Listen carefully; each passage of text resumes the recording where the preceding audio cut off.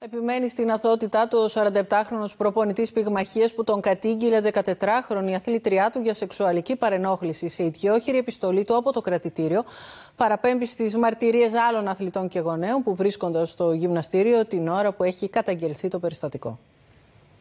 Αθώος δηλώνει ο 47χρονο προπονητής με ιδιόχειρη επιστολή που έγραψε τα ξημερώματα της Τρίτης μέσα από το κελίο που κρατείται μέχρι να οδηγηθεί στη φυλακή. Δηλώνω για μία φορά ακόμα αθώος. Επικαλούμε το λαϊκό αίσθημα προκειμένου να γνωρίζω αν μπορώ να κοιτάζω κατάματα τα παιδιά και τον κόσμο άσχετο με τις αποφάσεις των δικαστικών λειτουργών.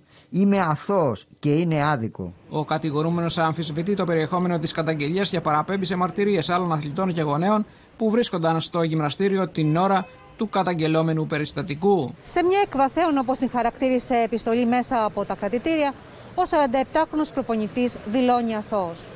Στα 25 χρόνια καριέρας μου πέρασαν από τα χέρια μου πάνω από 2.500 παιδιά. Σε αυτά δίδαξα την ευγενή άμυλα και το αθλητικό ιδεώδες, είπε. Εδώ οι περιγραφές που γίνονται από τη μητέρα και την ε, κόρη είναι εντελώς διαφορετικές. Άλλα μέρη του σώματος λέει η μητέρα ότι θόπευσε και μιλάμε για θοπίες.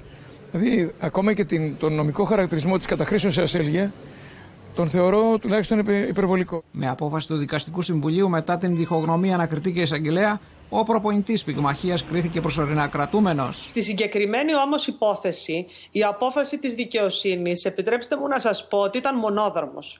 Υπήρχε μια εισαγγελική πρόταση η οποία ήταν καταπέλτης και θεωρούσε η κυρία Ισαγγελέα με μια απόλυτα αιτιολογημένη πρότασή της ότι ο κύριος κατηγορούμενος, εάν αφαιθεί ελεύθερος, είναι επικίνδυνος να τελέσει συναφή και παρόμοια αδικήματα. Η καταγγελία για την σεξουαλική παρενόχληση έγινε από την μητέρα της 14χρονης στις 22 Δεκεμβρίου και την επόμενη μέρα ο 47χρονος συνελήφθη από την ασφάλεια πατρών.